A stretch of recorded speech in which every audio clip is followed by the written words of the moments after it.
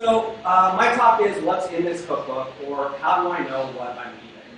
Uh, the cookbook metaphor uh, and eating and knives and, and, recipes and ingredients kind of proliferate across all of the uh, chef infrastructure. So um, I want to talk briefly about figuring out how to know what's in a cookbook when you want to upgrade it. My name is Mike Fiedler. I work in operations here at Datadog.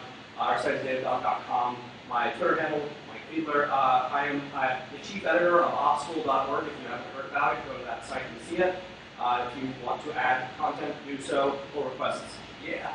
Uh, I work on the chef community very, very, very much. I don't work for OpsCode. And I'm a roller derby referee in Skydiving. Uh, the, the, the, problem starts when you start writing code. It starts with, with, I want to do something good. I want to give back to the world. I want to give what I have learned and what I've worked hard and toiled, sweat and tears, and you want to give it back. So you write some code. You write a, a cookbook to install a server. And you get all of these, uh, these changes that have happened throughout the period of time, and you kind of have all these commits in your uh, source control, and you don't know kind of what happened between points. And the person reading your code, now you've open sourced it, really has no kind of idea what your commit messages mean, uh, how in-depth they are, and they don't know what is going on in this differential of software. So in many, many uh, traditional software uh, packaging, there's release notes, there's readmes, there's, there's many conventions that are followed, and uh, you, a lot of people use those in order to determine, do I need to upgrade, what's the upgrade path, uh, and you know, what to do next. In, in the chef world, since you're, you're, you could theoretically write one cookbook that deploys everything in your stack. Uh, that, that's really a bad idea because now you have one big piece of code and you don't know what it does, and if you change it, it affects everything. So you, you put stuff in smaller cookbooks, you leverage other people's cookbooks like libraries, and there's so many of them, do I know what's going on? So uh, the, the problem exists, so we have version numbers to solve that. But version numbers don't necessarily solve the problem the way you expect them to. These are a list of Red Hat versions and kind of a number and a release date, so they don't really map to like a timeline. I know that Ubuntu's do map. So uh, there was this, uh, this thing in, I think, June of 2011, where uh, one of the uh, main people at GitHub wrote semver.org, semantic versioning. This is not a new concept many uh, existing software development and packaging rules have existing uh, rules, and they follow a very similar construct. Semver just comes out and says, this is what we really think, this is the strict way to do it, the strictest, and it maps across many, many different possibilities. And these are just some of the, the kind of the progressions of versions for three of the uh, pretty, pretty big uh, things. Now, what happens when these aren't software packages? We don't roll these as, as, uh, as packages. We, we, distribute them very often as either a tarball or, or you know, you're copying somebody's GitHub. Uh, so how do, you, how do you discern what's the difference in a cookbook?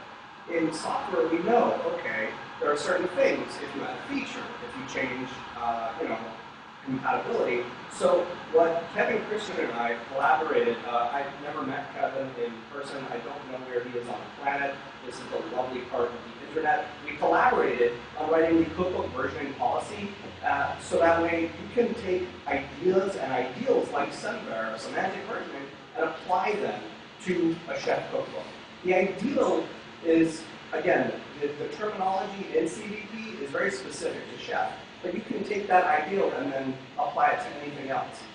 Anything that has a public API uh, that is a big part of, of versioning is what, what is a public API a cookbook, and then when do you increment the different parts of a version number. So you increment the, a major version when you break something or uh, that is, has existed before. So that is an immediate red flag to somebody that you've now got version 2, and then now there's a version 3, that's a red flag that says you changed something, I need to read the README, I need to look the upgrade path, I need to test it a little more thoroughly. Minor versions should only include, you know, uh, feature upgrades. So something that doesn't break, something new, uh, a new recipe, a new provider, attributes that provide same defaults. So that way, if I run this, I don't have to suddenly add another attribute file somewhere else. And the patch version, the .z, that should be pretty much exclusively used for fixing something that is currently broken and you know typos in your readme, updating documentation. I don't know if you want to release an entire version of something because of updated documentation, but it's been known to happen. So having this kind of notion of what you choose to each one of those version uh, components means that you can then map the ideals that you have of, I know what's changed, I'm maintaining this cookbook. I can now update the correct part of that version so somebody else reading uh, before they even read the code, they just see, oh, it's version 2.1.1. Oh, I already have 2.1.0. I can upgrade it. So my versioning theory is don't break things. You know, if you don't have to, don't, don't, don't, just don't break it. Uh, don't surprise anybody else because the minute you think nobody's using your code, you find out that they are. Uh, and if you're going to break it, be loud. Use that X. Use, you know, write a big, you know, big thing in your README. Uh, I do a lot of chef work. The Food Fight Show uh, is a podcast that uh, I, I, sometimes am on and other people are. This is a great place where we talk about DevOps, Chef, and other kinds of uh, configuration management, all sorts of other fun stuff. So check that out. Uh, this topic has come up before, and it probably will again. Uh, if you want to talk to me after the Ignites are over, I can talk about all of these topics, uh, and I'm happy to give you a hug if that's what you want, because Hug is awesome. Uh, and I think, is that my time? I don't know. It's gonna end. Okay, thank you.